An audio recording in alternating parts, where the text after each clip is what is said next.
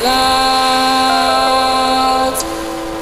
Our tomorrow just from beneath us.